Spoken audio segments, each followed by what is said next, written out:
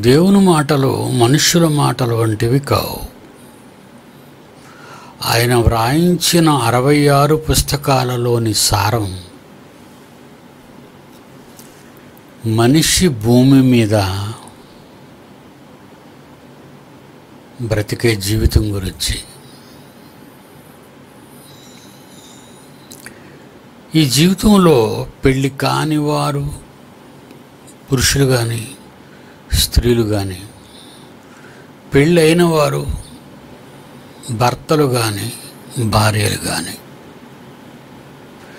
దేవుడు చెప్పిన మాటలు పరిశీలిద్దాం.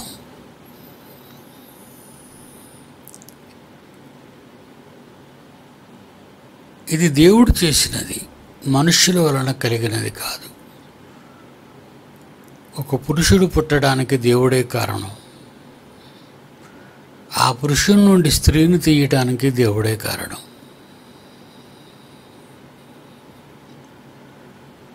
అలా కారణభూతుడైన దేవుడు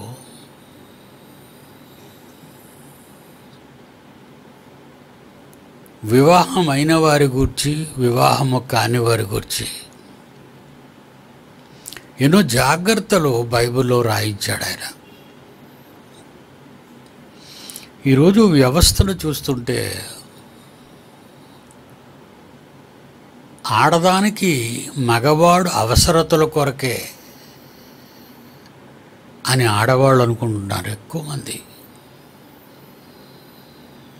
అలాగే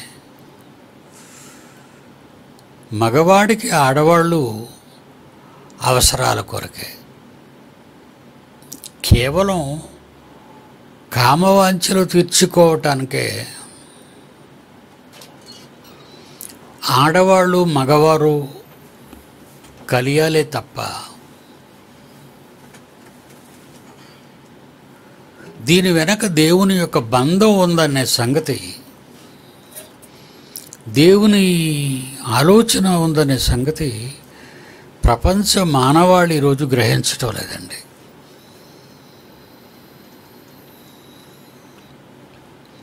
మగవాడు ఆట వస్తువు ఆడవాళ్ళకి. ఆడవాళ్ళు ఆట వస్తువులు మగవాళ్ళకి.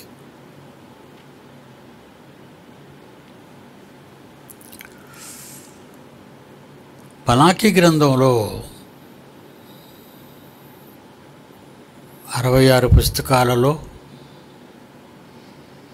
పాత నిబంధనలోని మలాకి గ్రంథం రెండో అధ్యాయం.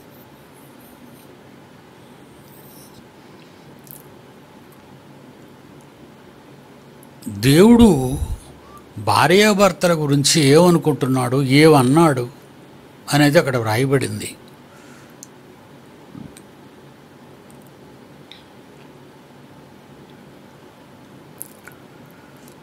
మలాకి గ్రంథం రెండో అధ్యాయ పద్నాలుగో వచనం.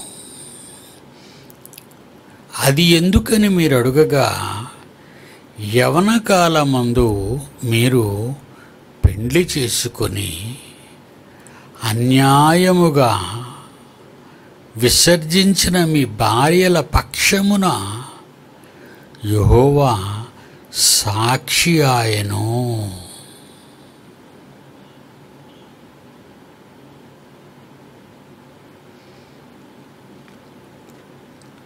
వివాహం అవగానే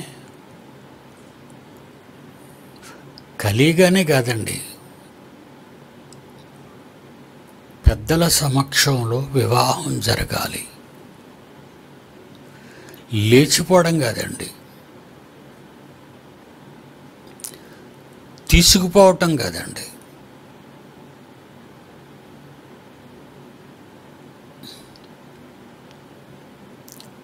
దేవుడు జతపరచాలి మిమ్మల్ని అంటాడండి.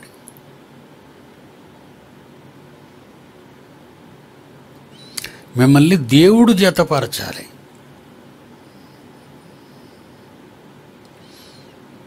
అప్పుడు పెద్దలు వివాహ కార్యక్రమాన్ని జరిగిస్తారు.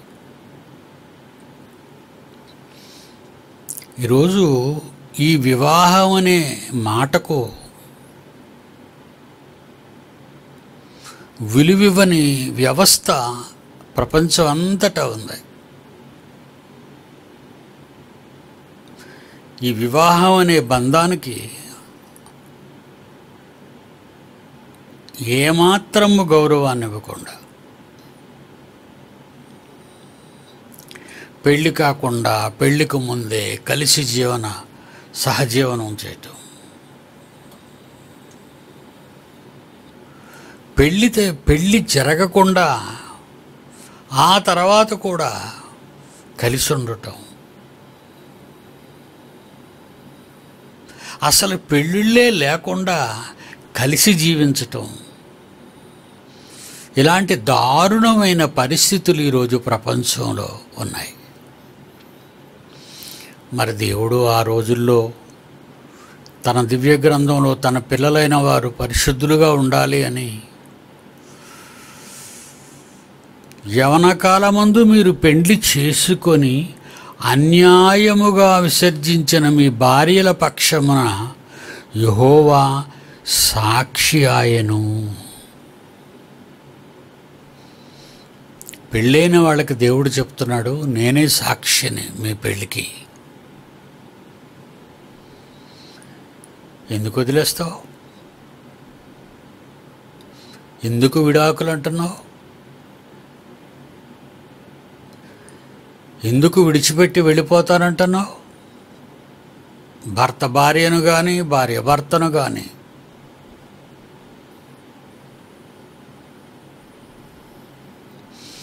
నేను సాక్షిని. దేవుడు అంటున్నాడు వివాహమైన వారికి నేను సాక్షిని. వివాహము కాని వారికి నేను సాక్షిని కాదు. నా ప్రమేయం లేదంటున్నాడు దేవుడు.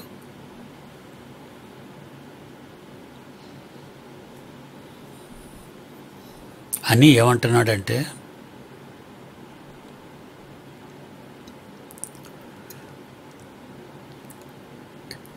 అది నీకు తోటిదై నీ భార్య నీకు తోటిదై నీవు చేసిన నిబంధనకు పాత్రురాలు కదా నీ పెండ్లి భార్య కదా.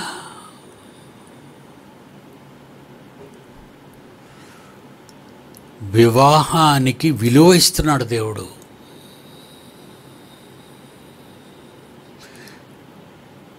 చాలామంది ఈ రోజుల్లో అసలు పెళ్ళిళ్ళు చేసుకోవట్లేదండి.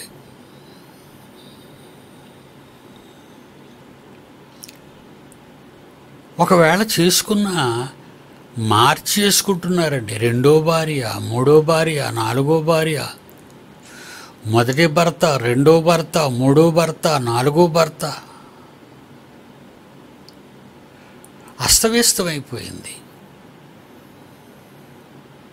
దేవుని ఆలోచనలలోని భార్యాభర్తల బంధం మనుషులు కుక్కలు చింపిన విస్తరిగా మార్చేశారు.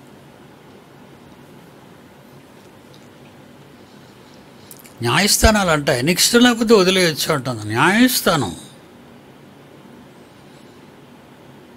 దేవుని న్యాయస్థానం ఒప్పుకోవట్లేదు.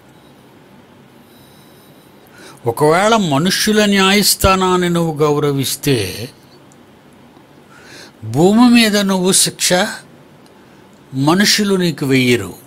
కానీ ప్రపంచ దేశాలలోని ఏ న్యాయ వ్యవస్థ అయినా దేవుని న్యాయానికి అన్యాయం చేస్తే దేవుడు న్యాయం చెప్పిన వాడిని భూమి మీద విడిచిపెట్టడు. ఆ న్యాయాన్ని అన్వయించుకొని సమాజంలో అసభ్యంగా బ్రతుకుతున్న వారిని దేవుడు విడిచిపెట్టడు. మర్చిపోకండి. క్రిస్టియానిటీ అనగానే చాలామందికి చాలా చులకన అయిపోయిందండి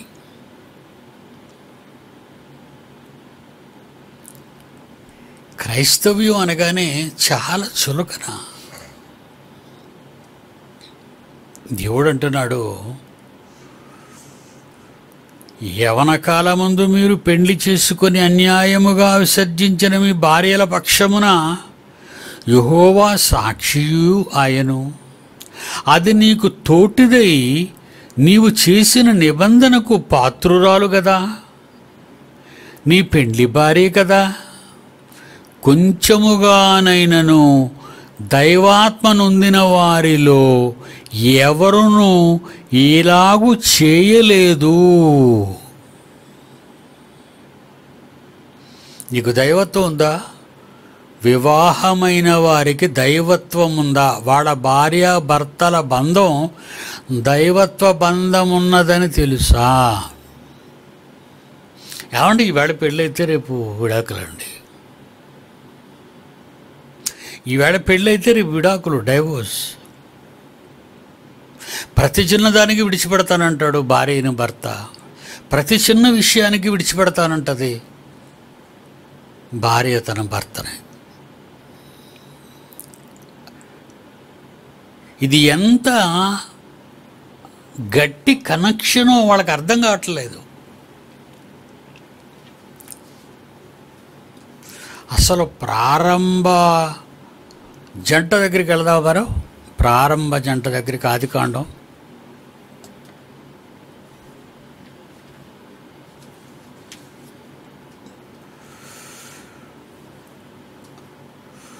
ఆదికాండం రెండో అధ్యాయం.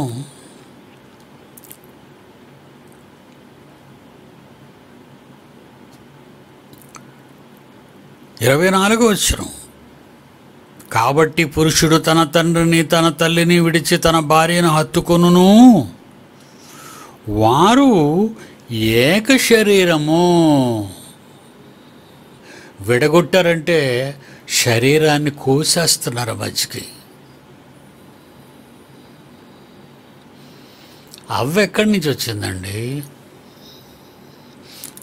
అవ్వ ఎక్కడి నుంచి వచ్చింది మన ఆది తల్లి? పురుషునిలో నుండి వచ్చినది. జాగ్రత్తగా వినాలి. పెళ్ళి చేసుకునేవాళ్ళు అతి జాగ్రత్తగా వినాలి. ప్రేమలు చెత్తలు చెదారాలు అనుకొని మొహం చూసి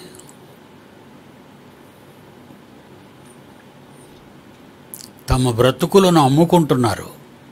ఆడవాళ్ళు కానివ్వండి మగవాళ్ళు కానివ్వండి. అలాంటి వాళ్ళందరికీ దేవుడు చెప్తున్నాడు దేవుడు జతపరిచినటువంటి ఒక ఆడ మగ వాళ్ళు ఒక శరీరం. ఒకే శరీరం అండి. ఆ శరీరాన్ని కోసేస్తావు మధ్యకి విడాకులేంటి? విడాకులు చట్టాలేంటి? అప్పుడు పెళ్ళెందుకు చేసుకున్నావు? పూర్వపురాలు ఆలోచించవా? పెళ్ళంటే కొన్నేళ్ళ పంట.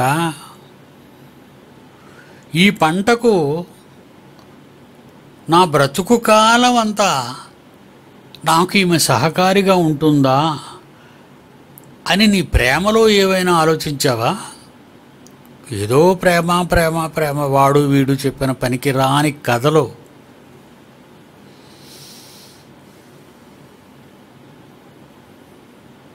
ఈ దిక్కుమాలిన ప్రేమ ఈ బ్రతుకు కాలానికే నిలకడగా లేనిది జన్మ జన్మలకు కావాలని కోరుకుంటారు. అయ్యి ఒక పెద్ద పనికి మాలిన కథలు. ఉన్న జన్మకే కలిసి ఉండలేని మీరు జన్మ జన్మల బంధం. మరొకటి ఏంటనేసాడు ఎన్నో జన్మలు ఎందుకు? ఏడు జన్మలు అన్నాడు. ఏడు జన్మల బంధం. ఇప్పుడు వివాహమైన వారిలో ఎవరైనా మీరు గత కాలంలో ఏ జన్మ ఏ జన్మలోనైనా ఒకటిగా ఉన్నారన్నది ఏమైనా గుర్తులు వచ్చేస్తున్నాయట మీకు? పెళ్ళైన వారికి అందరికి అడుగుతున్నాను. ఏమండి మేము గత జన్మలో భార్య భర్తలోనే పనికిరాని చెత్త సినిమాలన్నీ చూసి ఎవడో రాసిన పనికి మాలిన కథలు సినిమాలుగా చిత్రీకరిస్తే అవి నిజాలని నమ్ముతున్నారే మీరు? దేవుని మాటలు నమ్మరు కథలు నమ్ముతారు. మనుషుల కథలు నమ్ముతారు. అందుకే రెండో అధ్యాయంలో ఇరవై నాలుగు. కాబట్టి పురుషుడు తన తల్లిని తండ్రిని విడిచి తన భార్యను హత్తుకొన్న వారు ఏక శరీరం అయ్యుందురు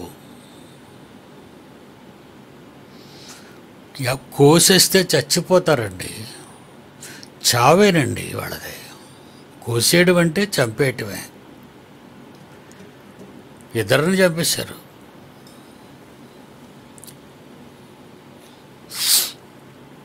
ఇరవై ఐదో వచ్చిన చదవండి. ఆది కాండం రెండో అధ్యాయం ఇరవై ఐదో వచ్చిన ఆదామును అతని భార్యయును వారిద్దరును దిగంబరులుగా ఉండిరి. వాళ్ళకి ఏం తెలీదు.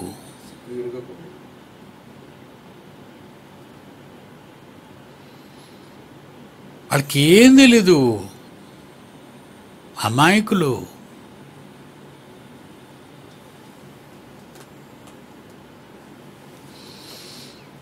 ఆదాములో నుంచే కదా తీశాడు. ఆడ మనిషిని దేవుడు ఆదాములో నుంచే తీశాడు. కనుక ఒకే శరీరం అది. రెండు శరీరాలు కాదు. నీవు తీయబడిన దానవు తిరిగి భర్తతో కలపబడిన దానవు. నిన్ను తీశాడు అవ్వను తీశాడు ఆదాముకి కలిపాడు. అవ్వను తీశాడు ఆదాముకు కలిపాడు. ప్రతి భార్య తన భర్త నుండి తీయబడినది.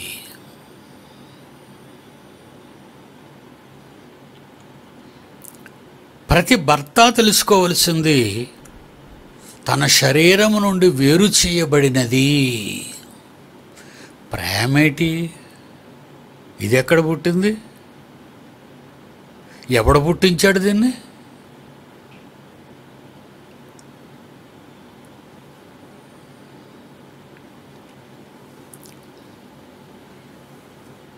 కనుక వివాహం చేసేటప్పుడు పూర్వకాలంలో చాలా ఊర్లు తిరిగేవారండి.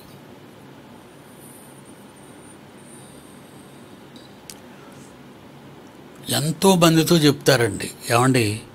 మా అమ్మాయికి మంచి సంబంధం చూడండి అని. ఎక్కడో ఎప్పుడో ఎవరో దేవుని సంకల్పాన్ని బట్టి వెతుకుతారు. దొరుకుతారు వాళ్ళు. దొరుకుతారండి. అప్పుడు దేవుడు వాళ్ళని జతపరుస్తాడు.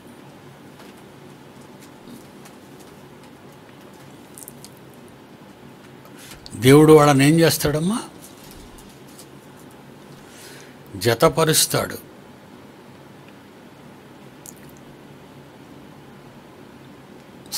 పంతొమ్మిదో అధ్యాయం అంతే సువార్త.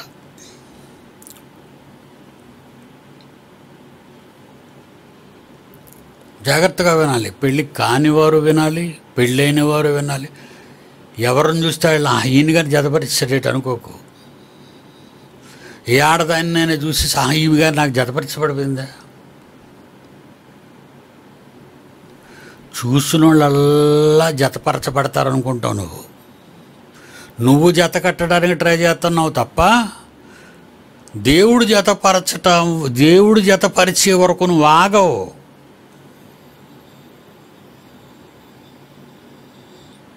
ఏమండి? నువ్వు జత కట్టకూడదు జంతువుల్లాగా.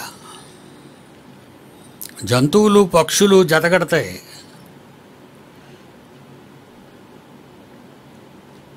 అలా కట్టేది కాదు మానవ మానవ బ్రతుకులు. దేవుడు జత కట్టించాలి మీకు. ఉందండి బైబిల్లో పంతొమ్మిదో అధ్యాయము ఆరో కాక యశ్వరబు అంటున్నాడు క్రొత్త నిబంధనలో ఇందాక పాత నిబంధన ఇప్పుడు క్రొత్త నిబంధన. కాబట్టి భార్య భర్త అనే పేర్లతో పిలువబడుతున్న వారిద్దరూ ఇద్దరు కాక ఏక శరీరముగా ఉన్నారు గనుక. దేవుడు జతపరచిన వారిని మనుష్యుడు వేరుపరచకూడదు.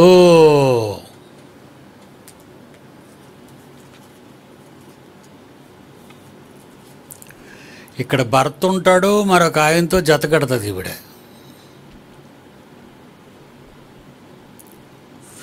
ఇక్కడ భార్య ఉంటుంది కనబడిన వాళ్ళందరితో జత కడతాడు ఆయన. ఏమనుకుంటున్నావయ్యా? Law it's a God's law. దేవుని చట్టానికి ఎంత వ్యతిరేకంగా నడుచుకుంటున్నావో నీ బ్రతుకులో తెలుసా?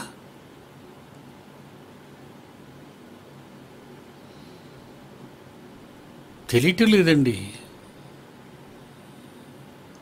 ఈరోజు జరుగుతున్న ఈ ప్రేమలు ఈ పెళ్ళిళ్ళు ఒకరోజు పెళ్ళి కాదండి ఐదేసి రోజులు పెళ్ళి.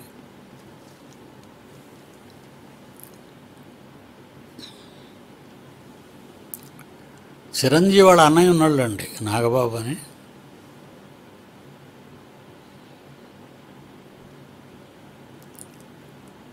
ఆయనకు ఒక కూతురు.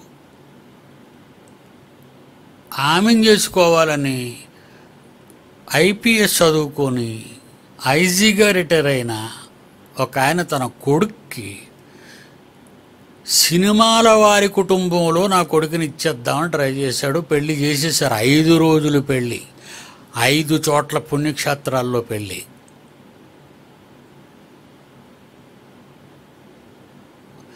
మరి పేర్లు మీకు తెలిసిపోతుంది కదా. అందులో సినిమా యాక్టర్ల పేర్లు మీకు తెలియకుండా ఉంటుంది. నా పేరైనా మర్చిపోతారు కానీ.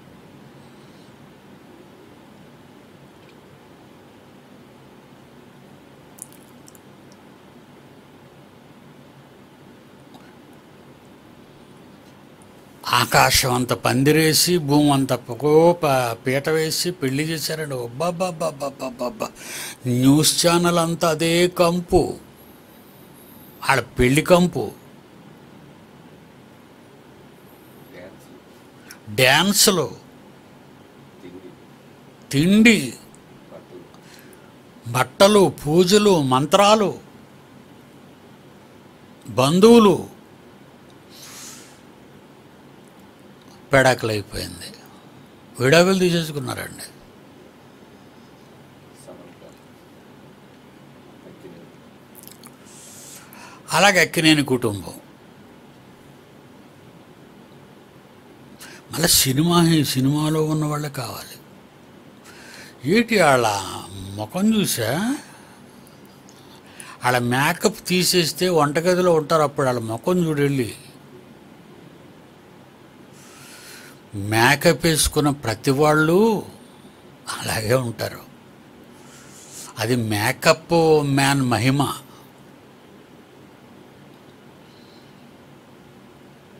నీ కళ్ళు చిన్న ఉన్నా వాడు కలర్ కాంబినేషన్లో పెద్ద కళ్ళు చేస్తాడు. నీ పెదవులు నిగ్రో వాళ్ళ పెదువుల్లాగా ఉన్నా లిప్స్ లిప్స్ వేసి లిప్ గార్డ్ వేస్తాడే అప్పుడు సన్నంగా చేస్తాడు. ఇది నిజం అనుకుంటున్నావా?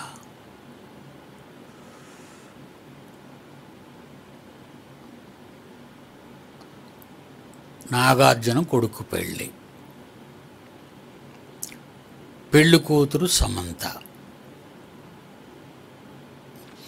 పెళ్ళి పెడాకులు. ఏమండి వాళ్ళే అంటం లేదండి నేను. సమాజం అలా ఉంది. సమాజం. ఇంకా చిరంజీవి గారు కూతురుల కంటే పెళ్ళి చేసుకోవడం వదిలేయడం పెళ్ళి చేసుకోవడం వదిలేయడం పెళ్ళి చేసుకోవడం వదిలేయడం ఆ కూతుర్లు. పెళ్ళి చేసుకునేవాడు ఎవరితోనే కాపురం చేయటం లేదు వాళ్ళు. ఆయన మెగ వీడు దగ పెళ్ళికొడుకు తెగ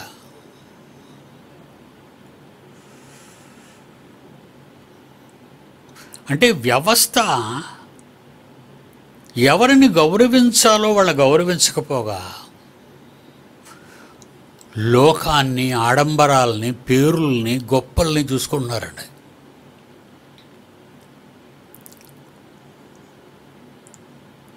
మన దగ్గర ఒక బాబు ఉన్నాడండి సెల్లార్లో ఉంటాడు. పేరు చెప్పను.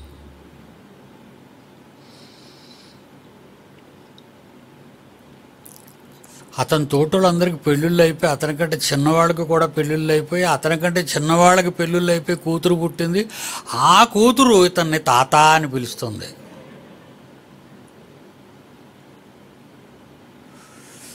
ఎందుకు పెళ్ళవలేదు? దేవుడు జతపరచలేదా? దేవుడు జతపరచకుండా ఉంటాడా? అప్పుడప్పుడు మన మన పూర్వీకులు అంటుంటారు ఒరే నీ భార్య ఎక్కడో దగ్గర పుట్టుంటుందిరా. అంతవరకు నువ్వు కంగారు పడి ఎవరితో పోకు. సమూహలతో క్షమించండి. సులమోన్తో దావీదు భార్య దావీదు కంటది కొడుకుని బత్సవ సులమును కంటది. కన్నప్పుడు తల్లి ఏం పాఠాలు చెప్పిందో తెలుసా? ఒరే నాన్నా నీ బలమును స్త్రీలకి ఇయ్యుకుము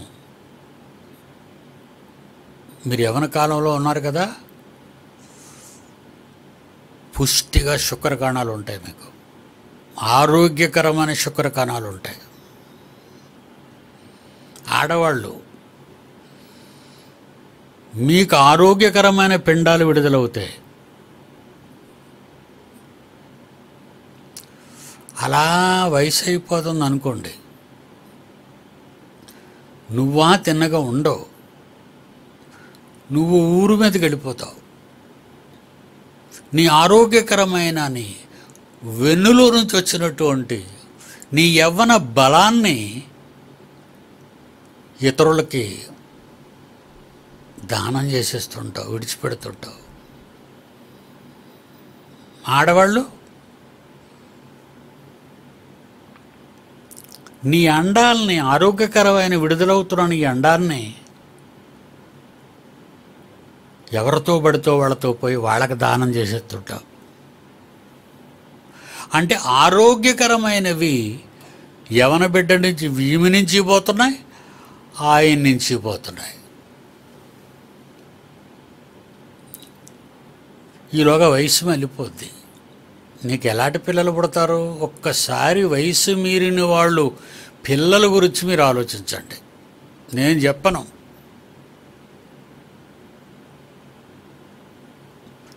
పిల్లల్ని ఎప్పుడు కనాలన్నాడు దేవుడు?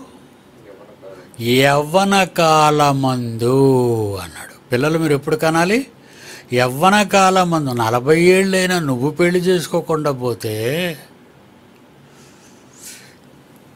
ఇక నీకు పుట్టే పిల్లలు బలవంతుని చేతిలో బాణాలు కాదు బలహీనుల చేతిలో కర్రపొల లాంటి వాళ్ళు.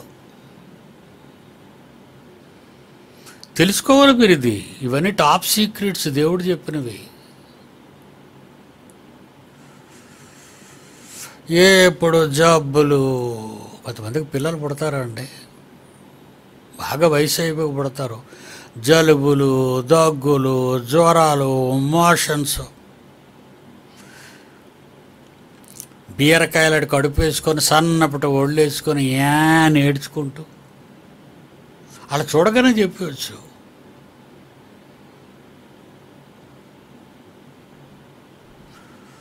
యవన కాలమందు పుట్టిన పిల్లలు బలవంతుడైన దేవుని చేతిలో శత్రువులను చీల్చే బాణాలు వంటి వారు అన్నాడు దేవుడారా మరి మీకు ఏ వయసులో పిల్లలు పుట్టారో దాన్ని బట్టి మీరు డిసైడ్ చేసుకోండి.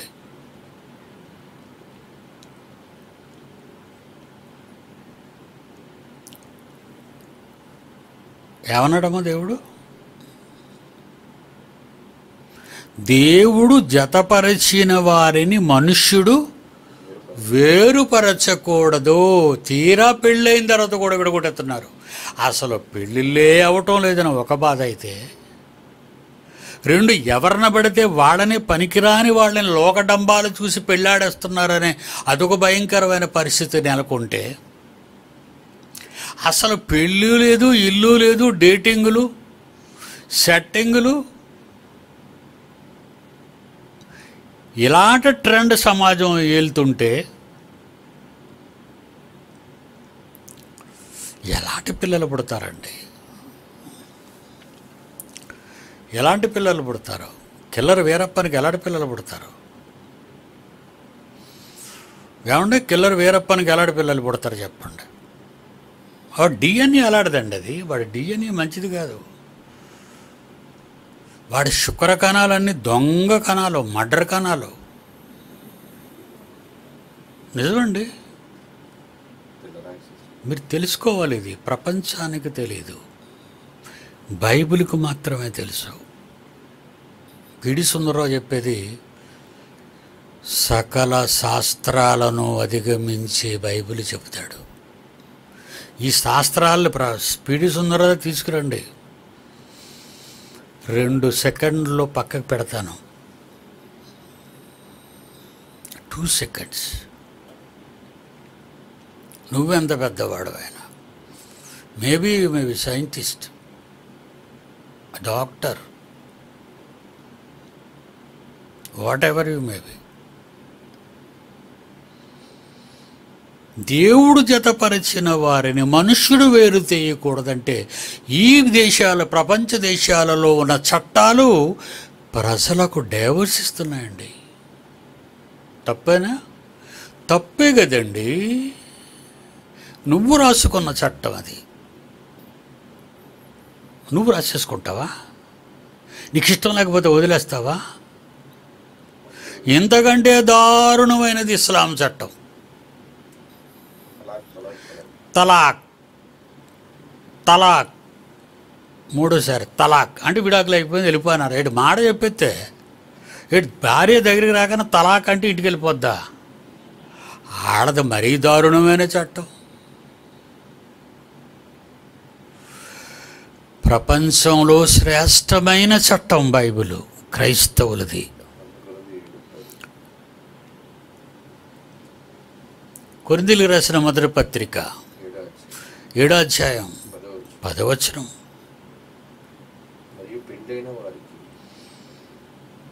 కొరిందీలకు రాసిన మొదటి పత్రిక ఏడాధ్యాయం పదవచనం. పెండ్లి అయిన వారికి పౌలు గారు అంటున్నారు నేను చెప్తున్నానని కానీ మీరు అనుకుంటున్నారేమో.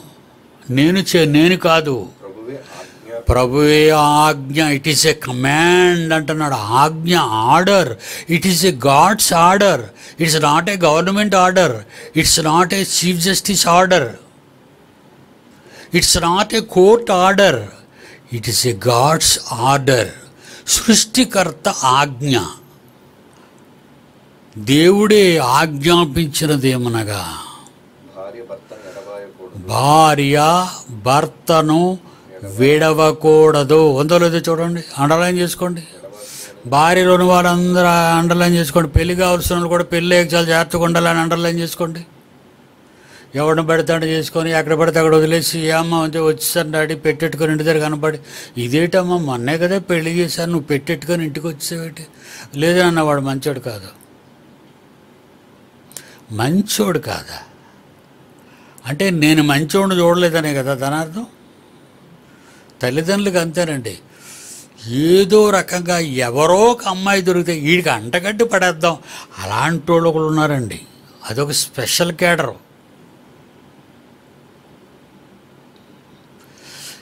వీడు కొంచెం పెళ్ళి చేస్తే పిచ్చేనా కుదురుతుంది అనుకుంటే పెళ్ళి చేసింది మరెక్కువ పిచ్చెక్కిచ్చేసింది వీడిని కావా అది జరగటం లేదు ఇవి. నేనేమైనా లేని కథలు ఏమైనా ఈ దొంగ పాస్టల ప్రసంగాలు ఏమైనా చేస్తున్నానా?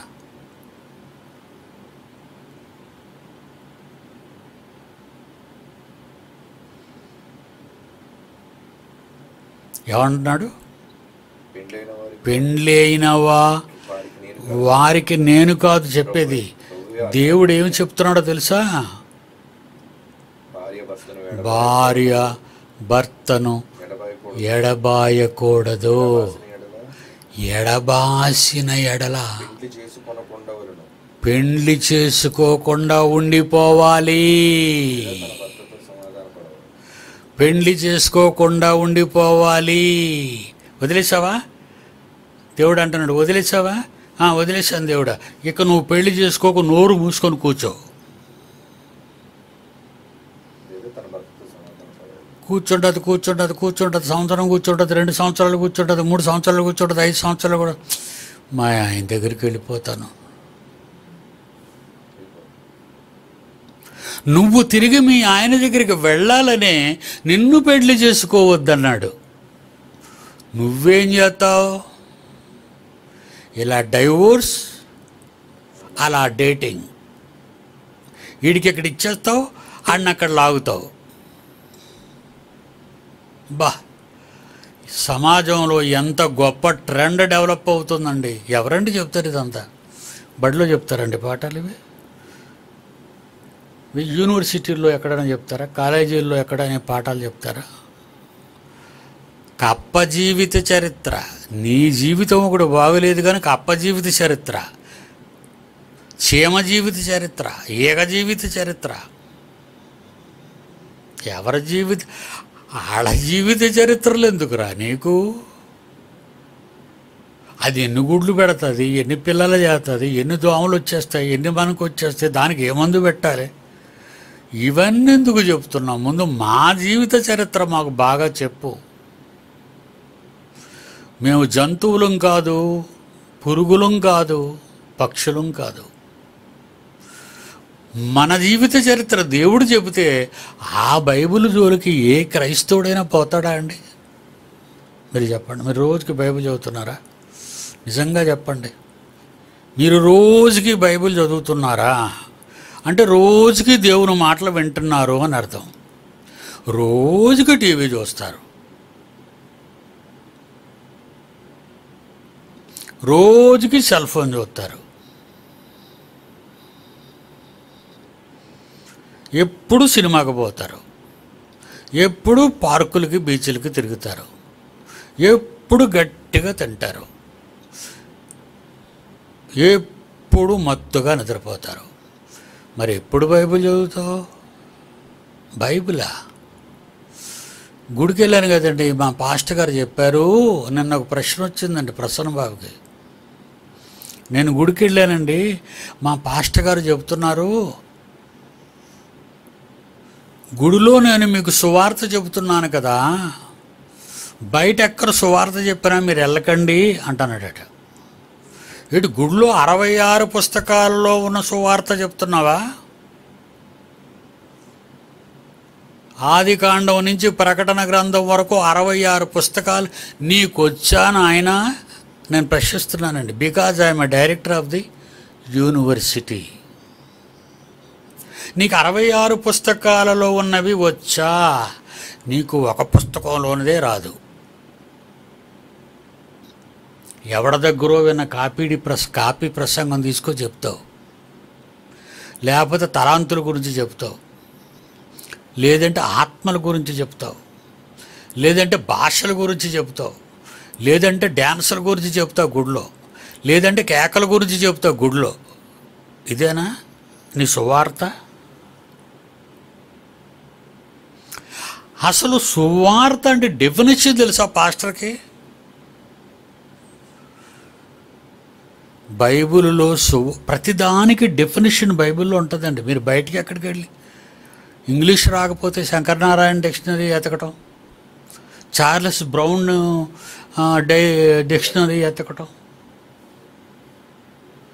శబ్దరత్నాకరణను తెలుగు అర్థం కాకపోతే ఆ డిక్షనరీలో తెలుగు డిక్షనరీలు ఎతకటం లోకానికి సంబంధించిన వాటిని వెతకటానికి లోకస్తులు రాసిన డిక్షనరీలు వెతుకు చావు. బైబిలులో నీకు అర్థం కానిది బైబిలులోనే వెతకాలి. ఎక్కడికో పోకో. అక్కడికి వెళితే తప్పు దొరుకుతుంది నీకు. ఆ తప్పు తీసుకొచ్చి అక్కడ బోధిస్తావు.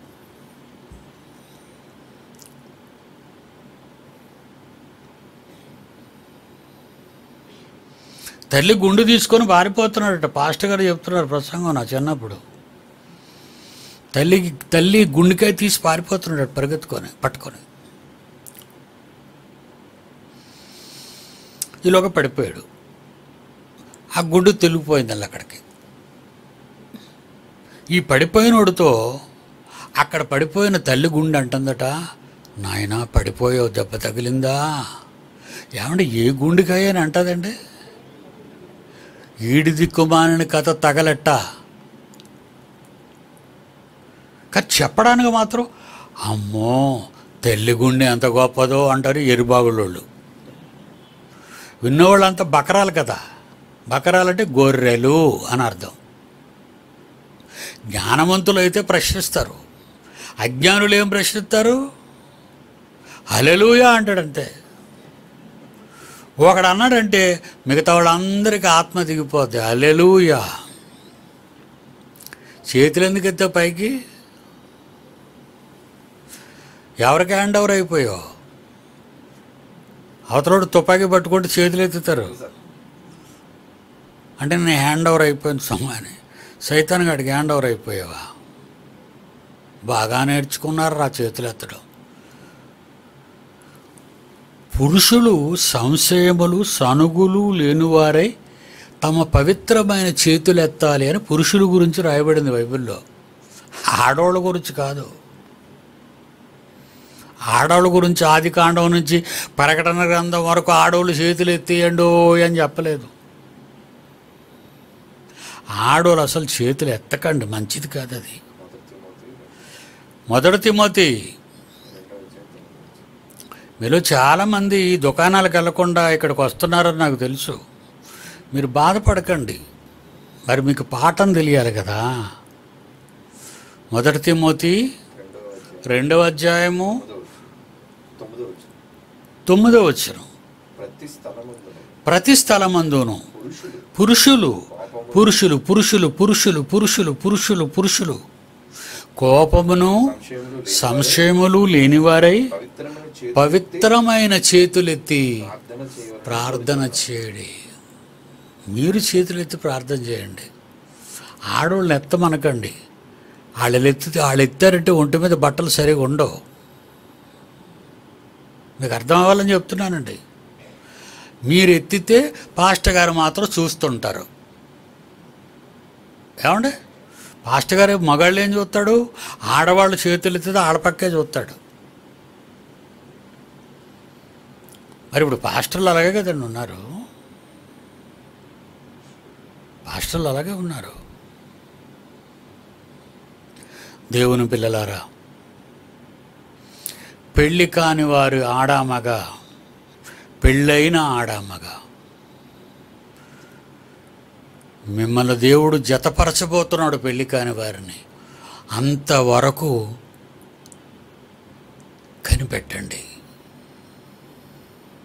పెళ్ళైన వారులారా మీ భార్యలను విడిచిపెట్టకండి.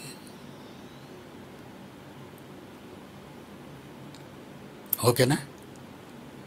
కొత్త పాఠం వచ్చిందా? మర్చిపోతారా పాఠం? ఒక పాఠం ఇంత కష్టపడి ఎందుకు చెప్తానంటే జీవితాంతం గుర్తించుకోండి. మీ పిల్లలకు కూడా చెప్పండి. మీ పిల్లలకి చెప్పండి. లేకపోతే వాళ్ళు ఇంకా ఇంకా అడ్వాన్స్గా చెడిపోతున్నారు వాళ్ళు. స్కూల్ బ్యాగులో కండోములోను మందు సీసాలోను.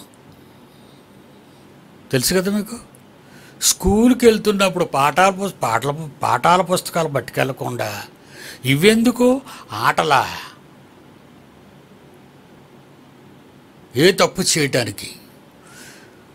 బివేర్ ఆఫ్ యువర్ చిల్డ్రన్ మళ్ళా చెప్తున్నాను. మీ పిల్లల విషయంలో మీరు జాగ్రత్తగా ఉండకపోతే వాళ్ళను మీరు బాగు చెయ్యలేరు. ఇప్పటి నుంచే బడిలో చెప్పరు పాఠాలు. ఈ పాఠాలు బడిలో చెప్పరు. బడిలో చెప్పని పాఠాలు ఇవి. ఓకేనా?